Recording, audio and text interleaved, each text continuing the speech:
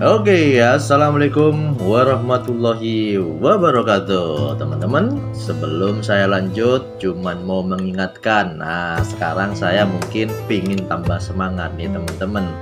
Gimana cara menyemangatinya? Yaitu, nah, tolong di subscribe. Kalau kemarin saya tidak terlalu butuh dengan subscribe, ternyata setelah saya ngeliatin subscribe-nya tambah naik, itu ternyata menyenangkan teman-teman ya. Nah sekarang saya minta kepada teman-teman yang nonton kan subscribe ini gratis ya nggak bayar ya. Subscribe aja klik aja. Klik subscribe. Nah, kan tidak ada biaya jadi gratisan anggap aja beramal kepada Hoxi Movie. Oke jangan lupa subscribe, like, dan share videonya biar tambah banyak yang nonton dan saya tambah semangat untuk menginformasikan atau berbagi info dokumentasi figur-figur baru yang baru saja saya dapat. Dan tidak hanya itu teman-teman mungkin nanti channel saya itu akan berisi ya jalan-jalan info-info ya macam-macam lah. Tapi lebih fokus ke figur sebenarnya karena ini salah satu hobinya saya. Oke ini di depan saya sudah ada satu paket jauh-jauh datang dari Bandar Lampung nih teman-teman ini paketnya sudah penyok-penyok nih ya. Ini mungkin ekspedisinya sudah ditumpuk-tumpuk dan juga seller membungkus dengan kardus yang mungkin tidak terlalu kuat teman-teman. Semoga aja figur di dalamnya ini aman-aman saja. Kalau tidak aman mungkin akan saya komplainkan teman-teman. Oke, di depan saya sudah ada satu paket ini akan saya buka. Ini sebagai uh, koleksi pamungkas dari koleksi uh, Dragon Ball HG pose di XF. Kemarin sempat saya membuka satu atau satu paket ya yang berisi figur-figur Dragon Ball pose DXF yang lengkap ya yang mungkin seperti ini teman-teman Nah, yang kemarin sempat saya buka untuk figur ini, ini kurang dua teman-teman ya. Seperti yang saya bilang kemarin, ini masih kurang dua dan ini adalah pamungkasnya teman-teman. Nah, yang di dalam ini, ini adalah pamungkasnya teman-teman. Jadi saya tersisa dua figur lagi yang belum saya buka sebagai pamungkas. Di dalamnya itu nanti apa isinya? Yuk kita bongkar. Biar teman-teman bisa langsung tahu figur pamungkasnya itu apa saja teman-teman. Yuk kita bongkar ini mana bagian pembukanya kayaknya di sini oke yuk kita langsung buka. Semoga saja figurnya aman walaupun paketnya ini sudah penyok-penyok teman-teman. Semoga aja aman. Semoga aja aman. Waduh ini sellernya kurang begitu bagus untuk package-nya teman-teman ya. Jadi kayak ngasal aja ini. Aduh oke yuk kita buka teman-teman. Oke. Ini figurnya sudah kelihatan. Saya buka. Satu. Nah nih teman-teman. Asal dibungkus aja kayak gitu karena mungkin ini saya informasikan kepada teman-teman ini adalah uh, figur second ya. Jadi bukan baru teman-teman. Karena ini itemnya sudah langka banget. Ya sudah langka banget. Jadi sudah jarang ini di pasaran jadi posisi figur seperti ini. Tapi dalam kondisi bagus nih ya. Ini Goku Super Saiya ya. Goku Super Saiya teman-teman. Satu. Dan dua. Ini Trunks Super Saiya juga. Oke. Mana dulu yang mau dibuka ini? Kayaknya yang di terang aja dulu mungkin ya. Terang aja dulu karena nggak kelihatan ini. Oke yuk langsung kita buka yang terang terang. Oke. Kita rangkai teman-teman. Yang terang. Oke. Oke. Ini gabung ya jadi satu ya, teman-teman. Oke, satu untuk tangannya. Oke. Mana kak tangannya kak?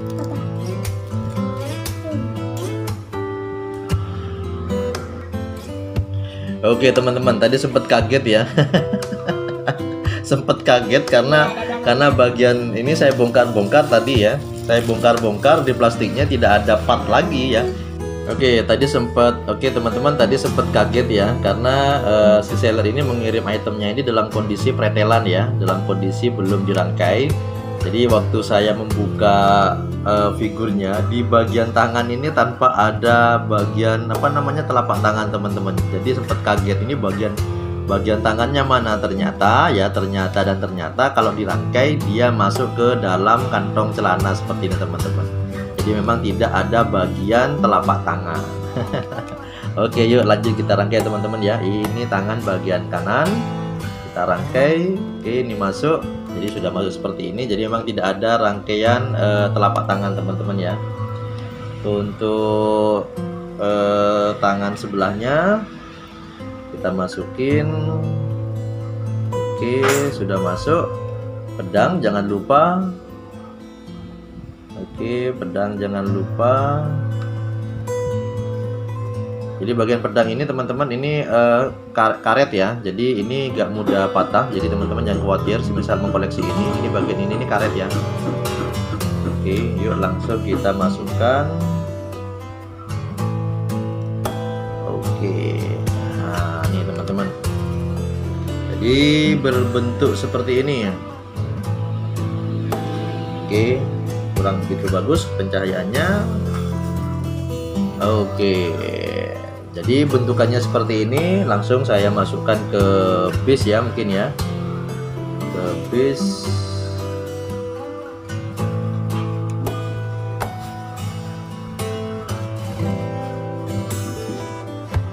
Oke masuk ke dalam bis. Jadi seperti ini teman-teman. Jadi figur Trunks Super Saiya dia berubah seperti ini ya. Untuk detailnya coba kita lihatin lebih dekat detailnya ini. Ya. Detail seperti ini serupa seperti yang sebelumnya, cuman ini hanya berubah di bagian warna rambut teman-teman ya. Dan ada perbedaan di warna pedang. Oke, ini detailnya teman-teman. Detailnya bagus banget Nah, ini yang saya sebut uh, pamungkas dari koleksi HG Dragon Ball Set Fighter DXF Push teman-teman. Ini produk lama, jadi item ini sudah langka banget teman-teman ya. Sudah langka banget. Ini ini produk lama seperti biasa. Kalau produk lama, uh, markingnya ada di bagian figur teman-teman ya, di figurnya sendiri ya. Oke, detailnya seperti ini untuk warna rambut dia kemasan agak glowing teman-teman ya agak glowing warna sarung pedang berwarna hitam gagang pedang berwarna uh, ungu ya. Berwarna ungu. Untuk celana berwarna coklat se selaras dengan ininya uh, kaos singletnya teman-teman ya. Ini bagus. Jadi item ini sudah langka banget sudah jarang yang menjual dan jarang yang memiliki. Dan mungkin teman-teman yang ingin mencari atau mengkoleksi item ini itu mungkin bersiap-siap dengan budget yang lumayan tinggi ya karena itemnya ini rata-rata akan dibanderol dengan harga tinggi teman-teman. Ini untuk kolektor disebut mahal karena apa? Skalanya kecil tapi harganya seperti figur besar teman-teman. Ya ini untuk Trunks Super Saiya. Kita ukur ketinggiannya. Kok ketinggiannya? Tinggi dari figurnya ya. Ketinggian. Figur dari uh, tinggi dari figur. 8 cm teman-teman ya 8 cm ya kalau dihitung dengan rambutnya ini bisa jadi 8 setengah 8 setengah untuk proporsional dari Z Factor DXF ini HG ini termasuk paling proporsional jadi dia ukurannya memang besar teman-teman Nah, untuk item yang lain, untuk HG apalagi rilisan yang baru tidak akan serupa seperti ini teman-teman. Yang ini nih benar-benar proporsional teman-teman. Besarnya, lebarnya, tingginya proporsional banget. Oke, ini untuk figur pertama dari Trang teman-teman. Kita taruh dulu, akan saya lanjutkan ke figur kedua. Trang. Oke. Oke, ini sudah selesai. Lanjut ke figur kedua ya. Untuk sementara saya taruh di sini biar teman-teman lihat ya. Oke. Ini sudah kita taruh. Selanjutnya figur dari Son Goku. Son Goku Super Saiya teman-teman ini juga sama-sama langka teman-teman ya oke keluarkan dari plastik jadi untuk teman-teman yang ingin mencari figur ini ya mencari figur ini harus benar-benar atau ekstra sabar teman-teman karena tidak mudah, tidak akan cepat kita menemukan item ini ya di pasaran, apalagi kolektor. Karena kolektor sekarang sudah mengerti semua kalau item ini sudah langka dan pastinya nanti kalau ada yang menjual sudah barang pasti itemnya ini akan dibanderol dengan harga mahal teman-teman. Makanya teman-teman bersabar kalau rezeki itu nanti akan menemukan seller yang tidak mengerti figur ini dia akan menjual murah teman-teman dan itu baru kalian menemukan harta karun oke ini untuk figurnya. Yuk kita pasang di sini ya. Oke. Oke tunggu sebentar. Jangan lupa ya diklik tombol subscribe-nya. Tombol subscribe jangan dianggurin ya. Klik aja di situ gratis. Oke lanjut lagi Oke, figur sudah terpasang begini teman-teman ya. Detailnya serupa persis seperti Goku sebelum menjadi saya teman-teman ya. Ini ternyata juga bongkar pasang teman-teman. Oke. Kita masukin lagi. Oke, detailnya bagus banget ya. Super saya. Ini detailnya bagus banget dari dekat mungkin kita liatin face dari si Goku dari dekat coba kita matikan cahayanya. Apakah kelihatan? Oh kurang ya. Kurang pencahayaan. Oke kita pakai cahaya sekarang. Oke biar kelihatan teman-teman. Oke ini Goku. Untuk detail bagian baju masih mulus teman-teman ya. Masih mulus masih bagus banget ini jadi walaupun ini figurnya sudah beberapa tahun yang lalu ya. Ini kalau nggak salah rilisan tahun 2009 teman-teman ya. Jadi kalau dibilang dengan tahun sekarang sudah 11 tahun nih. 11 tahun figur ini sudah beredar di bumi. Dan kondisinya masih bagus mulus kinclong. Oke. Detailnya seperti ini. Bagian belakang ya Cuman sayangnya di sini untuk yang item ini, untuk yang Z Factor ini tidak menggunakan baju yang berlogo teman-teman ya yang ini. Coba mungkin dia menggunakan uh, baju yang berlogo yang ada emblem di depan dan di belakang ini bakal tambah keren teman-teman ya. Saya ada satu lagi cuman dia bukan yang seri Z Factor teman-teman. Yang Goku pose normal seperti ini dengan menggunakan baju yang ada logonya di belakang atau ada emblemnya. Oke, yuk kita ukur tinggi dari figurnya. Jadi seperti yang sering saya bilang, untuk Z Factor ini, HG Z Factor ini untuk figurnya proporsinya sangat sempurna sekali dari segi tinggi, lebar, ya ini kalau diukur sampai ujung rambut ini teman-teman sudah mencapai 9 ya mencapai 9 cm jadi tergolong besar nih teman-teman. Uh, untuk yang sekarang mungkin untuk yang rilisan HG-HG yang sekarang yang menyerupai ini besarannya itu hanya di real figure teman-teman ya. HG the real figure. Untuk yang HG biasa kayak versus kayak scene selection itu tidak terlalu besar untuk proporsi dari ukuran tubuhnya. Nih detail dari Goku. Oke yuk kita masukin ke dalam base nya ini base nya ya ini base nya ini uh, mungkin teman-teman bertanya biasa sebelum-sebelumnya ada yang berwarna bening kuning bersih ya. Ini kok berubah menjadi kuning? Ini rata-rata untuk figur dari uh, sorry untuk base dari figur HG ini kalau sudah lama sudah berumur beberapa tahun ini base nya berubah warna seperti ini teman-teman. Kayak permen fox ya kayak permen fox. Nih. Yuk kita masukin ke base nya kita masukin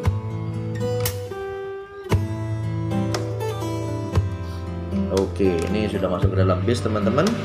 Jadi kalau dipajang nanti dia akan berdiri seperti ini. Oh, mantap teman-teman. Ini gandengannya jangan lupa ini ada gandengan dengan Vegeta. Nah, ini gandengannya teman-teman. Ini mungkin sekedar informasi kepada teman-teman ya saya sudah memiliki Vegeta ini. Sebelum yang lain ini terkumpul dengan yang tadi itu ini sudah beberapa tahun teman-teman. Jadi saya memiliki Vegeta ini ini sudah beberapa tahun dan baru sekarang dia berkumpul dengan uh, serinya ya. Jadi seri dari DXF itu ya seri DXF itu itu ada beberapa uh, karakter dari Z Factor yang harus dikumpulkan. Dan pertama kali saya punya ini adalah si Vegeta ini teman-teman.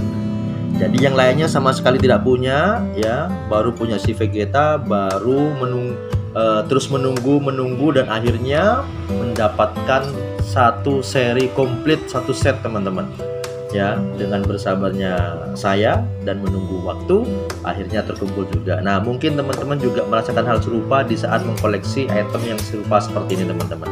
Ya dan yang belum punya dan masih berburu nah harus benar-benar sabar atau ekstra sabar teman-teman. Nah nih ini vegetanya ya. Ini kalau digandeng nanti posenya dia akan berposisi seperti ini teman-teman. Pos. Mantap. Ya. Keren ya. Oke oke. Jangan lupa teman-teman di subscribe ya. Di subscribe jangan lupa gratis. Oke ini dua figur yang saya buka dan tiga figur Super Saiya dari Z Fighter yaitu Vegeta, Trunks, dan Son Goku teman-teman. Sudah komplit ini final. Jadi sudah satu set sempurna teman-teman. Mantap. Mantap. Jadi untuk koleksi ini sudah benar-benar sempurna teman-teman. Ini akan nanti saya fotokan berbarengan nanti ya. Kemarin uh, foto satu set tanpa adanya si super saya ini sekarang sudah lengkap dan akan difotokan bersama-sama. Oke coba ini saya angkat ke atas. Saya perlihatkan kepada teman-teman. Oke diulang lagi. Oke Oke teman-teman gimana? Keren ya? Keren. Ini adalah item langka yang susah banget untuk didapat dapat pun dengan harga yang lumayan. Nah itu yang bikin saya jengkel sebenarnya. Seller-seller itu bermain dengan harga di saat item itu sudah mulai langka ya. Itu yang bikin saya jengkel sebenarnya. Coba mungkin ya mengertilah dengan kolektor. Jangan dijual mahal ya